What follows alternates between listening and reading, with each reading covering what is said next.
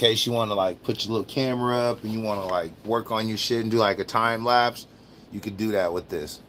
So that's one of the cool things that I liked about uh the little Chinese tents they be having these little little added options. Now, some of that shit be like ghetto, uh, be like hella ghetto and weak sauce, bro.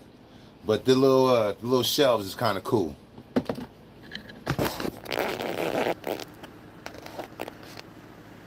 I'm excited, bro. So here go our uh pink snowman. Pink snowman.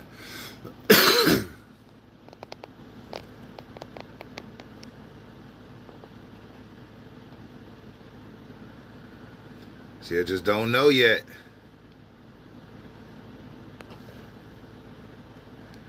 Let me in there. There's a leaf.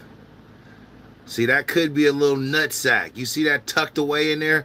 Okay, so if I zoom in, you can zoom in too. And I'm trying to debate if that little knot right there